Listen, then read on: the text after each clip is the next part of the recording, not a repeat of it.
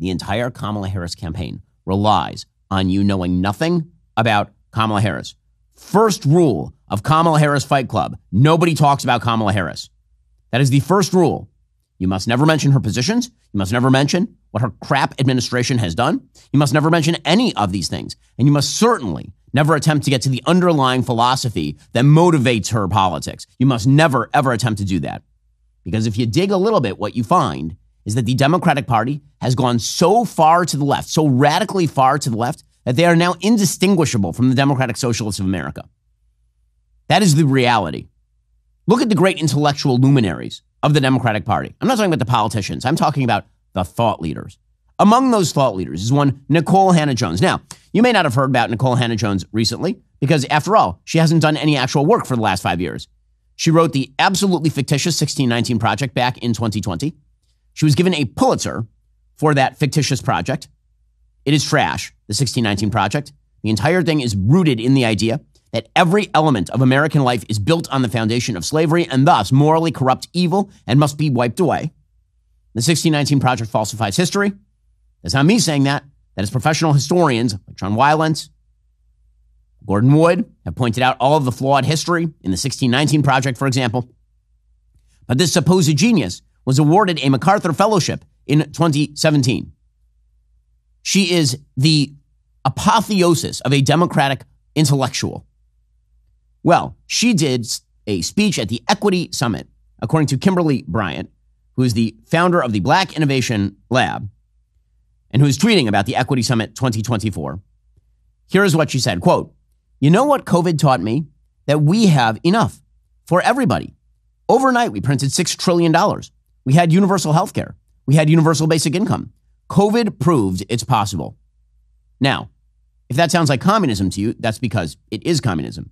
And you may recall that COVID actually ended up with 40 year highs in inflation, a massively spiraling debt problem, the complete shutdown of the American economy.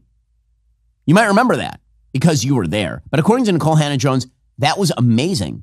That is what America ought to look like. It ought to look like the government paying you to stay home, shutting down your business, and then compensating you for shutting down your business. The government ought to provide everything for free and it will have no impact. Now, it's not a one off. Here is what she had to say. This is back in June at the MLK Library talking about her Trash 1619 project. Do y'all remember this thing called a pandemic? y'all remember that? Do you remember how when all of a sudden all of America was experiencing what black people experience regularly?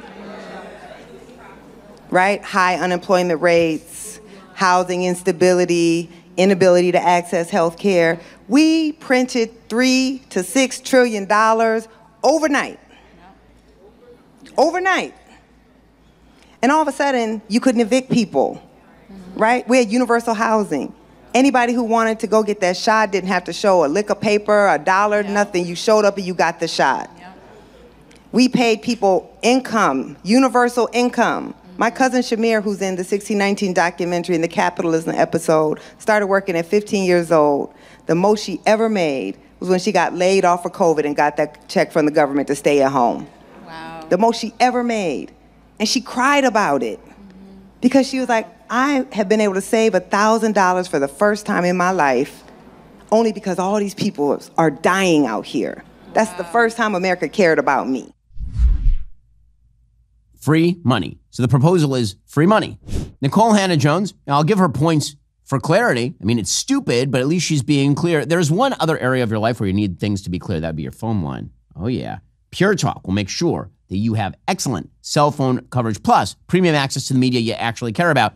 That's Pure Talk. Again, might be the best offer Pure Talk has ever come out with right now. When you switch your cell phone service to Pure Talk on a qualifying plan, you get a free one year insider subscription to Daily Wire Plus. That is correct. Take advantage of unlimited talk, unlimited text, 15 gigs of data, and mobile hotspot on America's most dependable 5G network for just 35 bucks a month. And you get one year free of Daily Wire Plus. The Daily Wire Plus Insider Plan gets you access to our entire library of movies, series, and documentaries, including Lady Ballers, What is a Woman, Mr. Birchum, Foundations of the West, and more. Plus, you get all our daily shows uncensored and ad-free. The only way you can get that special offer is by going to puretalk.com slash Shapiro. I'm telling you for years, you're overpaying for your cell phone plan If you haven't made the switch to Pure Talk, now is the time to do it. Go to puretalk.com slash Shapiro today. Switch to a qualifying plan. Get one year free of Daily Wire Plus Insider. That's puretalk.com slash Shapiro today.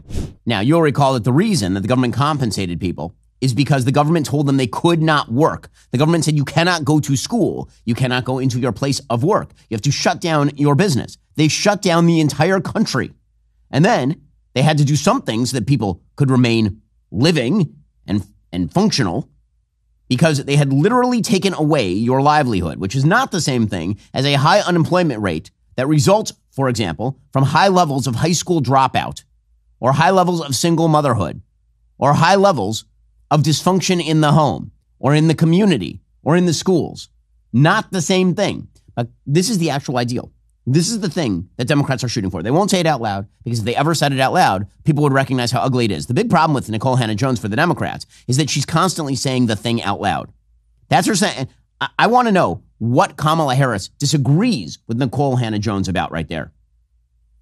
Now, the reality is that the Biden Harris administration has tried a lot of this. And, it, and, it, and it's true that so many Democrats were enthusiastic about all of it.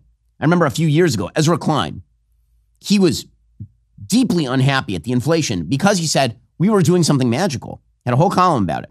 We were doing something magical when you blew money into the economy, modern monetary theory, that debt doesn't matter. That when you did this, you, you were actually creating a rising tide that was lifting all boats, but then it didn't work. And that was weird that it didn't work and upsetting that it didn't work. The reality is, of course, it doesn't work. First of all, it's immoral. Money doesn't grow on trees. It's not magically popping out of the ground just because the Federal Reserve says it is so.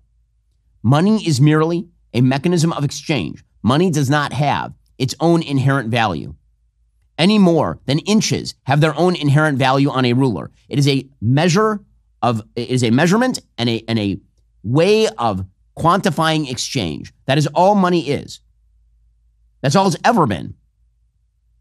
But for the Democrats, for the Democratic Party, for Kamala Harris, the basic idea is the government can magically make money happen and then just give it out.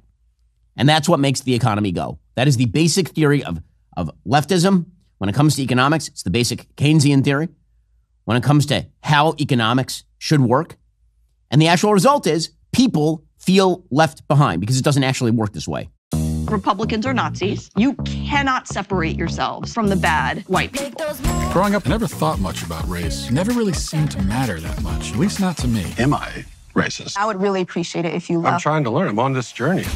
If I'm going to sort this out, I need to go deeper undercover. They gon' say I'm racist. Joining us now is Matt, certified DEI expert. Here's my certification. And what you're doing is you're stretching out of your whiteness. This is more for you in this field. Is America inherently racist? The word inherent is challenging I want there. to rename the George Washington Monument to the George Floyd Monument. America is racist to its bones. The- so inherently. Yeah, this country is a piece of White. folks. White trash. White supremacy. White woman. White boy. Is there a black person around here? This black person right here, does he not exist? They gon' say I'm racist. Hi, Robin. Hi. What's your name? I'm Matt. I Just had to ask who you are because you have to be careful. Never be too careful. They gonna say you racist. Buy your tickets now. In theaters September 13th. Rated PG 13.